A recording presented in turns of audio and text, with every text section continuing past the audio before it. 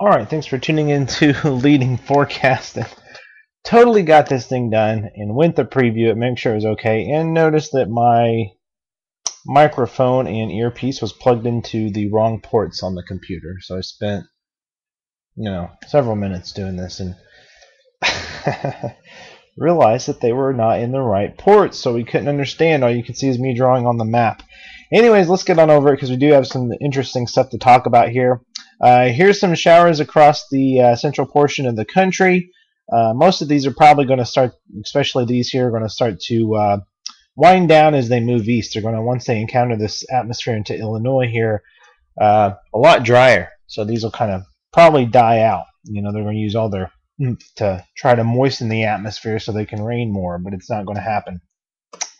Going on over slight risk today, we do have that slight risk out across uh, Minnesota, and we'll tell you why. Main risk is going to be uh, damaging winds and some small hail today.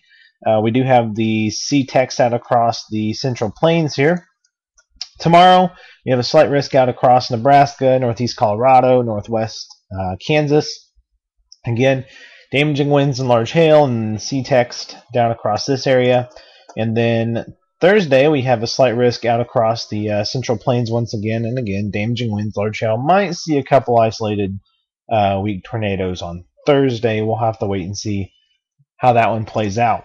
Going over to the forecast models, here's today. Uh, this is by later on. Low pressure system sitting up in Canada.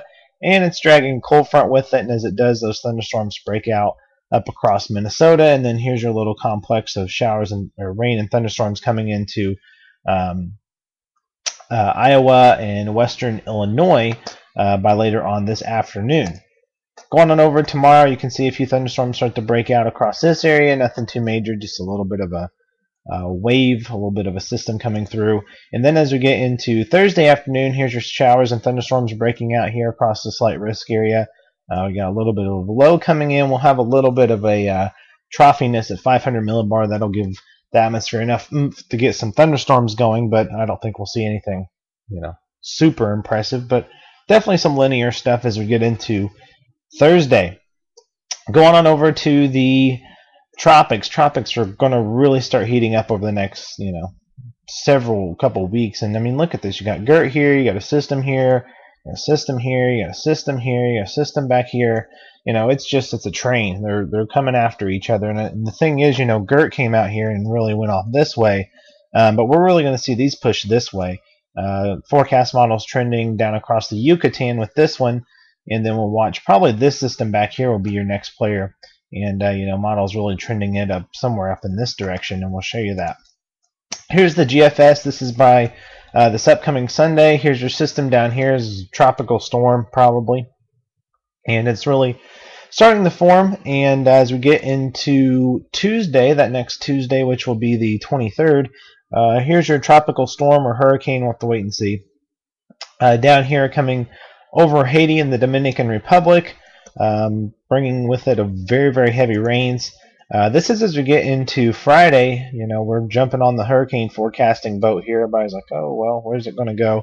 Uh, really coming down, hitting Miami is a pretty pretty good looking hurricane, and then it goes out into the Gulf. This is by early morning Sunday, making landfall um, somewhere in Mobile, Pensacola, over to Gulfport, even over towards New Orleans, really targeting that that central Gulf Coast. I don't know that I'm a big fan of this forecast. We'll have to wait and see because you know we're looking at it here coming across this area, then back up across here. Usually when it gets over into this area, these two areas, uh, usually what it'll do um, will come through, you know, come up through here and end up getting taken up the east coast instead of actually cutting across and going across here into the Gulf. I mean, obviously Andrew did go across the peninsula and into the Gulf, but with the way the high pressure is coming in, you know, you can see these lines coming in through here.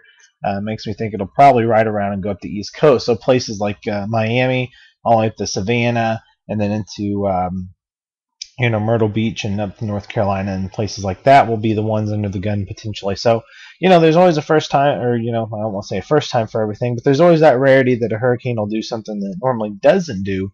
So really everybody just needs to be on their toes about this one. A lot of the forecast models picking up on this storm. So makes me think there's probably a pretty decent chance that this one's going to pan out regardless of how strong or weak it is. So anyways, that's really all I have for today. Um, hopefully my mo- microphone's plugged in this time. And um, so, anyways, that's all I have. Uh, have a great week. Uh, you can view this on swiftchaseteam.com or thedailyforecast.net. See you later.